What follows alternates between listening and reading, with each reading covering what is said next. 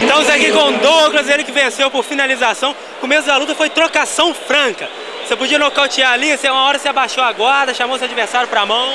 Eu vi que ele morreu no gás, é um cara muito mais pesado que eu, veio pra trocação, mas não aguentou o pique.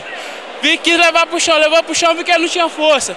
Então, sou experiente em pé, mas pelo meu adversário não ter força para trocar comigo no chão, eu optei pela finalização. E o seu forte, o seu forte o é em cima. O forte é o tie, é o em cima. Mas... Vocês viram que eu dei o um knockdown nele, só que ele conseguiu, né?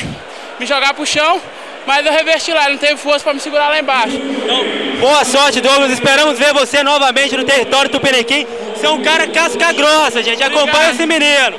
Obrigado. Valeu. Valeu.